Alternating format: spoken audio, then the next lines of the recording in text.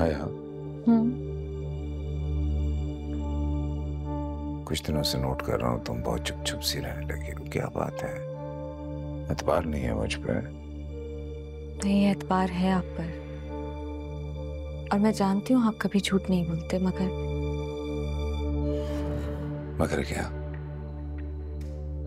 पता नहीं क्यों डर लगने लगा है। इन हालात ने मुझे आपकी ज़िंदगी में शामिल किया था। डरती हूँ कि अगर हालात बिगड़ गए तो कहीं मैं इस घर से आपके दिल से निकल ना जाऊँ।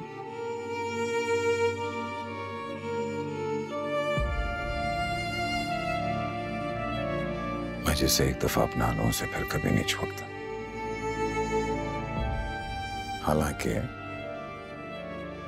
तुमने अपनी मोहब्बत का इजहार मुझसे खुलकर नहीं किया पर मैं अपनी मोहब्बत पूरी ईमानदारी से निभा रहा हूँ। आपसे दूर होने के खदशे।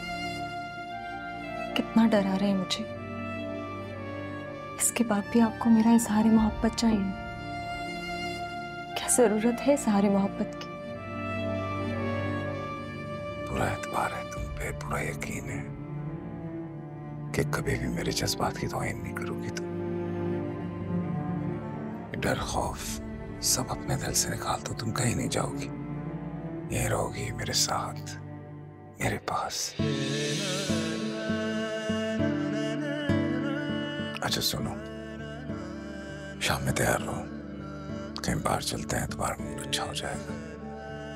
हम्म। Bye hmm.